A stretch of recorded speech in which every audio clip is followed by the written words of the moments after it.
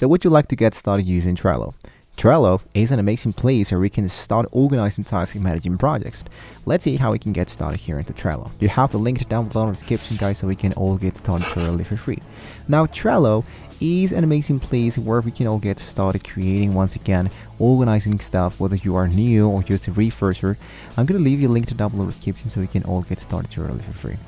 Once you have signed up, once you have signed in, you might be seeing that you have here this element. So in my case, we wanted to go for logged in with another account and I choose my account. In my case, we already have an account, right? So once we already have an account, let's start with our first board. It's really easy to start with our boards. So by default, you have a board created by Trello. So you don't want to focus that. You can of course create your board if you want to, or delete the one that you previously have.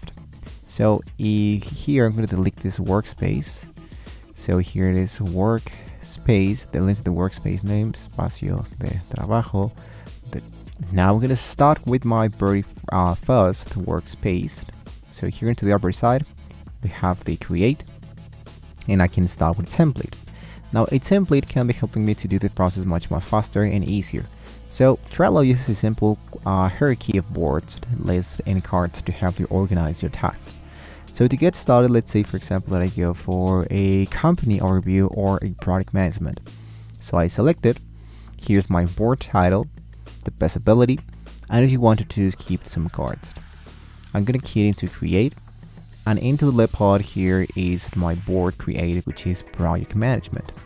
Now as you can see by default we have the project resources looked as a board and we can change the view of this element uh, for table, calendar, timeline, dashboard, and much more. Of course, we needed of course to choose a upgrade for that, but in this case, I'm going to focus only with the board. Now, if there's something you do or you don't want to see, just go for the three dots, scroll a little bit down, and retrieve all the costs in this list. Now you can see that there's nothing into the product resources.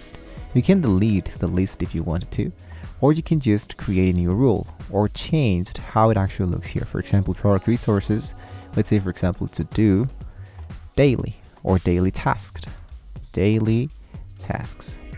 And I can start adding tasks. So here I can my very first card. For example, do laundry. And there we go.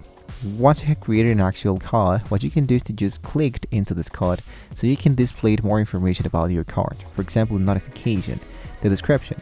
So do number one, task number one, do um, task number two, and so on and on. Hit now into save. And if you're working with more people here into the left pod or into the right side, have the members guide. You can add a new member into this card and we can assign elements to them. I can add different labels and I can add checklist to see how it actually looks my checklist. So my checklist, for example, let's say do one, do two, do three, and much more. I hit into add and I can see that the check mark progression appears there. So each time that I click into someone, the checklist has now been successfully done. And lastly, we have now the dates, attachment, the cover of how it actually looks, and and the custom fields. Lastly, we have some power ups. Now the power ups can be helping you to enable elements and feature stuff and communicate much more faster with your work. So for example, I can use Google Drive to add this project and add files directly from the new drive files to a card and I can attach this element and add them directly inside my board and make my work much more faster. So we can add a new item, we can add a new power up, we can connect my Google account here in order to make use of this element. And lastly, what we can do is to set up some push notifications.